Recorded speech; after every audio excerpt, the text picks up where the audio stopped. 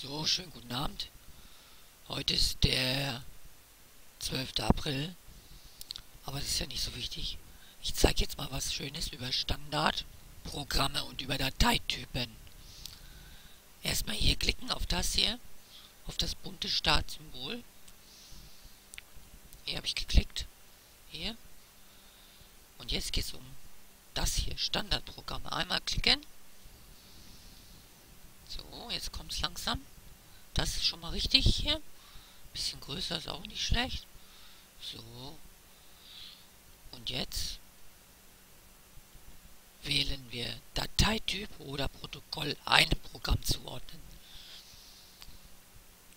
Dateityp zuordnen ist auch das Thema. So, jetzt habe ich Pause gemacht, weil es so lange dauert. Das hier ist jetzt das Fenster, was aufgegangen ist. Das ist gerade aufgegangen. Und jetzt. So, ich rutsche jetzt ganz doll hier runter. Hier, Achtung, da. Bei diesem Pfeil, äh, hier, wo ich der Pfeil wackelt. Und da gehe ich drauf.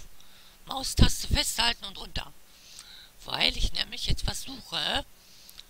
Ich suche die Endung, die mit M anfängt. Und zwar MP3. Oh, ich könnte auch WHV oder irgendwas mit Musik erstmal anfangen zu suchen. Hier ist MP3 schon irgendwo. Da. Hier ist MP3. Wir können, wir können MP3 auch anders aufmachen. Jetzt einfach normal draufklicken hier. Da. Da habe ich geklickt. Und jetzt geht es auf Programm ändern. Da.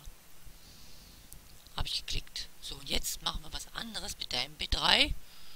Wir können zum Beispiel äh, Express Burn, man könnte das brennen. Mit Express Burn kann man das schön brennen. Express Burn zum Beispiel.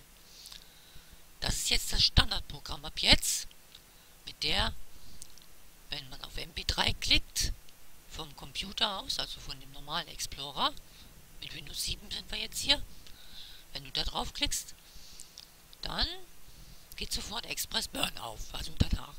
So, das war's schon und okay hier gehen. Und jetzt abwarten. Und jetzt haben wir es wieder geschafft. Ich habe da ein bisschen Pause gemacht, weil es so lange dauert. Was sieht man jetzt in dem Fenster? Kleines Ratespiel mache ich jetzt mal so Spaß. Hier, das sieht man. MP3, Express Burn, Express Burn. Das heißt, wenn MP3 angeklickt wird, dann geht das auf. Express Burn. So, vielen Dank.